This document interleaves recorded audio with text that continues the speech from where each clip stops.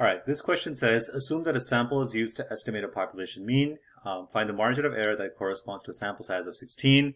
So I'm going to write all this down. Uh, sample size, that's going to be our n value. So our n is going to be 16 with a mean of 24.4.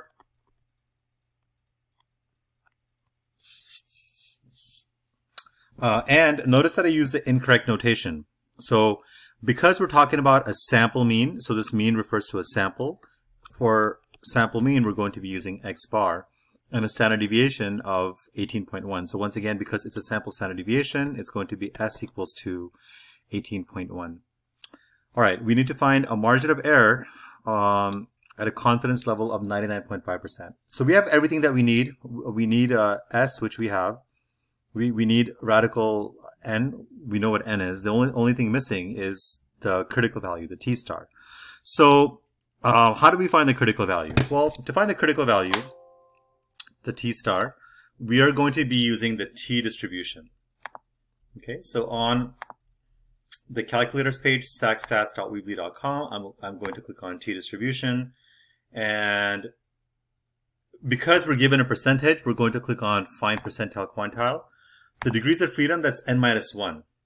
So because we have a sample size of 16, our degrees of freedom is going to be n minus 1, which is going to be 16 minus 1, or 15. That is going to be the degree, degrees of freedom. So in my t distribution calculator, I'm going to say that my degrees of freedom is equal to 15. Always choose a two-tailed test. That's one of the mistakes students make. And then you put in your uh, your percentage, and that's 99.5%. And we can see that our critical value is 3.286. All right, so let's go ahead and plug this in.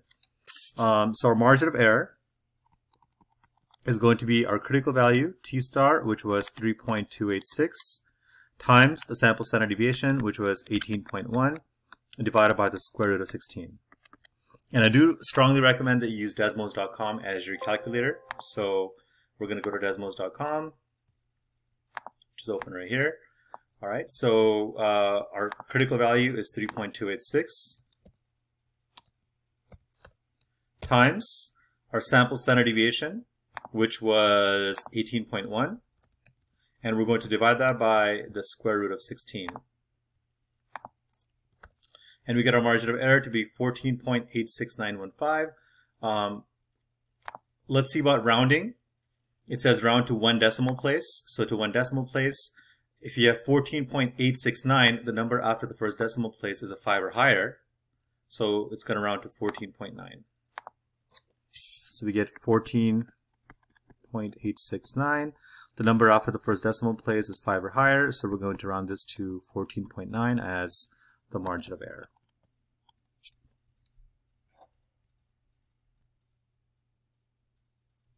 Okay, this problem says the effectiveness of a blood pressure drug is being investigated.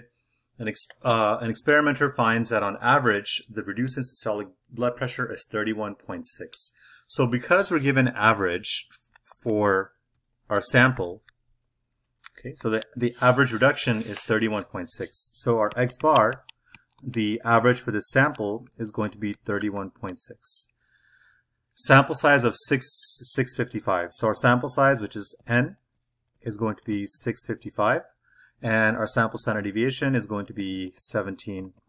So for the sample of 655 people, the, the mean was 31.6 with a standard deviation of 17.7. Estimate how much the drug will lower typical blood pressure. Uh, so now we're trying to estimate um, how much the average member of the population uh, will have their blood pressure uh, reduced by using a 95% confidence level. Okay, so first off, for this section, we're always going to start with the formula. And the formula is like this. The, the formula for the confidence interval is your x bar, which is your 31.6, because you're taking a sample mean to estimate the population. So the sample mean is not going to be exactly the same as the population mean. There's going to be some kind of an error. So we have plus or minus the margin of error. The margin of error is given by your critical value t star times the sample standard deviation over square root of n. That's our confidence interval formula. So we have everything that we need. We have the sample mean. We have the sample standard deviation. We have our sample size. All we're missing is the t star. Okay, so for the t star, we're going to go to the t distribution. We need degrees of freedom. That's equal to n minus 1. So in this case, n is 655 minus 1. We'll have degrees of freedom of 654. So let's go to our t distribution calculator. Okay, in our t distribution calculator, um, we're going to say that our degrees of freedom is going to be n minus 1, which is going to be 654. We have a, we want a 95% confidence level. Make sure you choose two-tailed test. Put 95%. And our confidence level, uh, or sorry, our critical value is going to be 1.964. All right, so we know that our T star is equal to 1.964. So let's plug everything in. Our sample mean is 31.6 plus or minus our critical value, which is 1.964 times our sample standard deviation, which is 17.7 divided by radical n. That's going to be radical 655.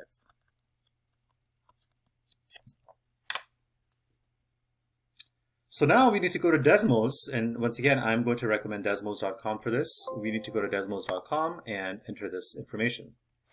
So in our graphing calculator, we're going to start with our sample mean, which is 31.6. It's a plus or minus, so let's do the minus first. We got 1.964 times our sample standard deviation, which is 17.7. Make sure it's in the parentheses. And then divided by radical n, which is going to be radical 655. That gives us our lower value. We can copy and paste this, change the minus sign to a plus sign. That'll give, give us the upper value, which is 32.96, and the lower value is 30.24. So on average, for the whole population, um, the reduction could be as low as 30.24 or as high as 32.96, and we can say this with a 95% confidence level. Okay, so our interval is going to be 30.24, comma, what was it, 35, 32.96. So in the lower value, we have 30.24. And in the upper value, we have 32.96.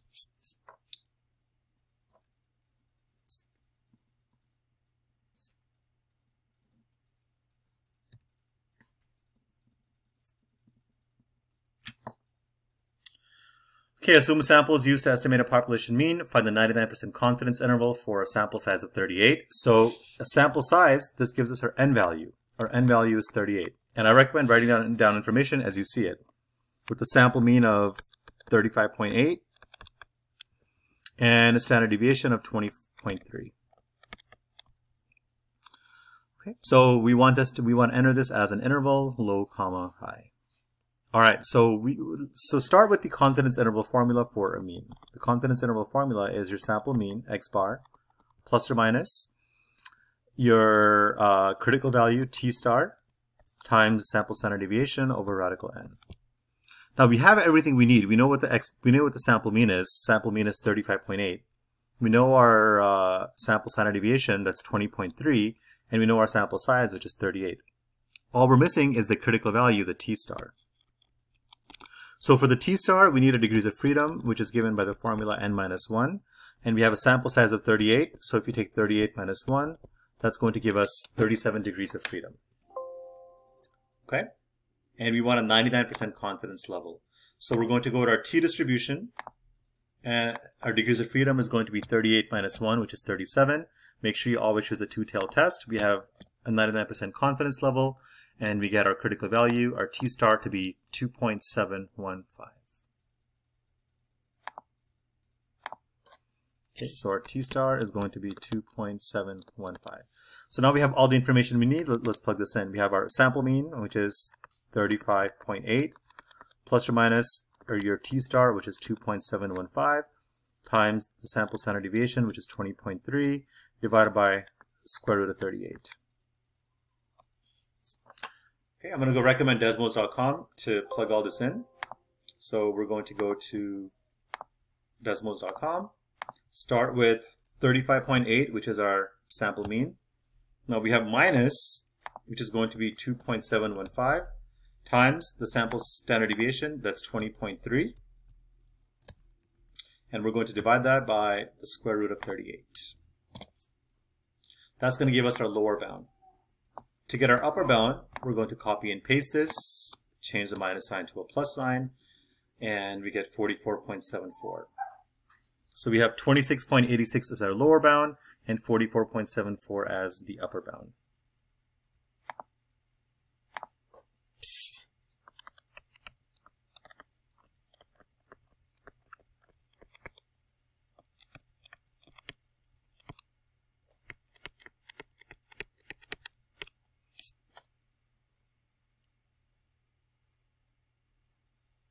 So this tells us that our population mean is somewhere between 26.86 and 44.74.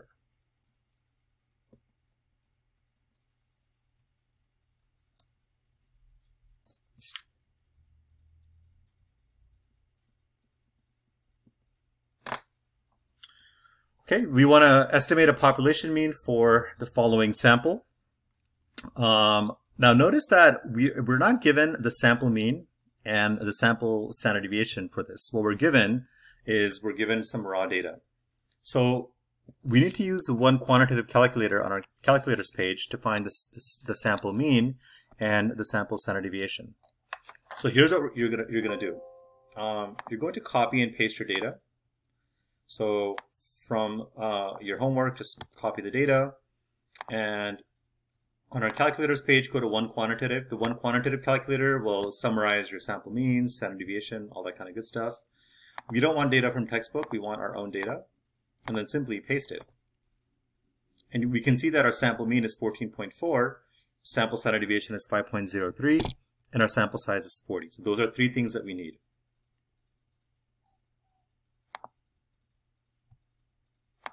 All right, so we have from the one quantitative calculator, we said uh, our sample mean is 14.4.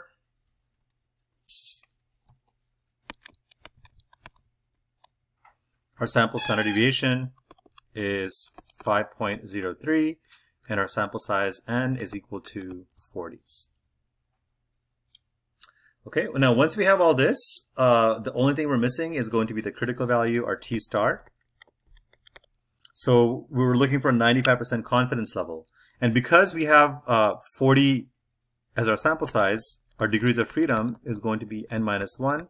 That's 40 minus 1, which is 39. So we're going to go to the t-distribution calculator and we're going to say that our degrees of freedom is 39. That's 40 minus 1. It's a two-tailed test. We want a 95% confidence level. So our uh, critical value is going to be 2.023. 2.023. Okay, so our T star is going to be 2.023. Now we have everything that we need. Our formula for a confidence interval is going to be our sample mean, x bar, plus or minus the sample standard deviation, uh, sorry, plus or minus the t star, which is 2.023, times our sample standard deviation, which is 5.03, divided by square root of 40. Oh, and our sample mean, I forgot to replace that with 14.4. So now we're going to go to desmos.com and enter all this information. So in, in Desmos, we're going to say our sample mean is 14.4. We have a plus or minus, so start with the minus, 2.023. That's going to be um, our critical value, times 5.03, divided by the square root of 40. That's going to give us our lower bound. We can copy and paste this, and our upper bound is going to be 16.008. Okay, uh, so this says to two decimal places. Uh, that means we're going to have 12.79 and 16.01 as our uh, lower and upper bound.